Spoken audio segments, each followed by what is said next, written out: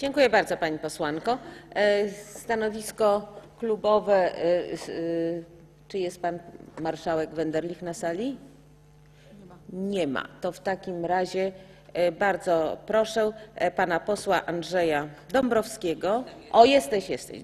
Tak, bardzo proszę. Pan marszałek Wenderlich przedstawi nam stanowisko klubu poselskiego Sojuszu Lewicy Demokratycznej. Bardzo proszę, panie marszałku.